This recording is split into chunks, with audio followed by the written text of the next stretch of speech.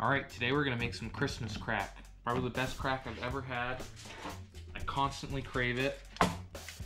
First off, you're gonna start any sort of cookie pan, cookie sheet, big, small, use more if you have more or less. This recipe fills about a regular sized. Line it with tin foil. Spray it down. Vegetable oil. Fill it with saltine crackers. I learned how to make them with these first. I've also tried graham crackers, which is also delicious. I just happen to prefer the little bit of saltiness from the saltines, but it is also really good with graham crackers too.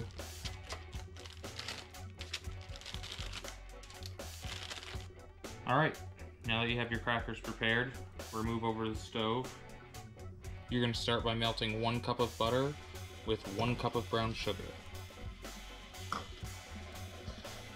You're gonna cook that butter and sugar mixture until it all dissolves and comes to a slow, tiny boil. Keep mixing the entire time.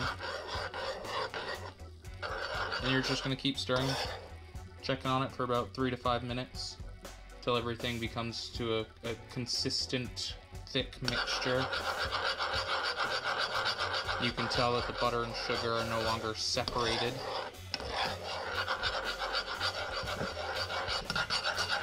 Yeah, alright, that's about ready. It's nice and thick, bubbly, everything's dissolved. You don't want to burn it. It's gonna go back into the oven, so that looks about good. And take that beautiful caramel mixture, pour it over all your crackers, nice and evenly.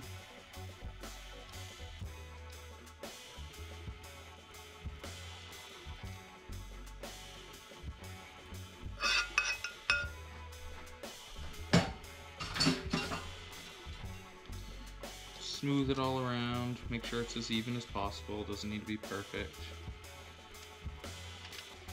Now you're gonna put these in your oven once it's preheated to 400 degrees for about five or six minutes or so. All right, after about five or six minutes in the oven, should look like this. Caramel's gotten nice and thick. Now you're gonna let that cool for a couple minutes, maybe like three minutes or so. Just let it cool down, hang out. All right, so after that's cooled down for a few minutes, we're gonna cover the entire top of it with chocolate chips. I prefer the good ones.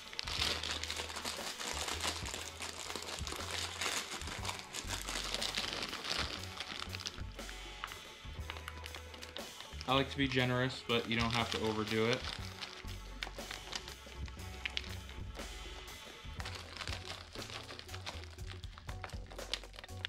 Yeah, that should be about good. Now you're gonna sit, just let it sit, let the residual heat start melting the chocolate chips. If you have waited too long and it's too cool, you can throw it back in the warm oven for a few minutes, just start letting stuff warm up. Alright, after a minute in the oven or letting it sit, you can see stuff starting to get nice and melty. You're just gonna gently spread everything as evenly as possible. This is such a great quick snack. All in all, this will take you 15 minutes to make. I mean, it's so quick.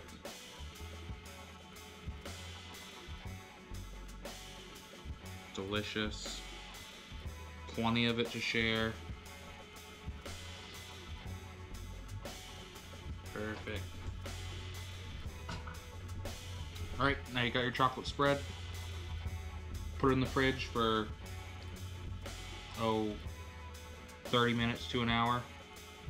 Let it cool, harden. I know it's hard to resist, just wait. All right, after about 30 minutes to an hour, you'll see everything's nice and solidified. And they're done. And here you can break them, cut them, whatever you want to do. Oh yeah. Look at that.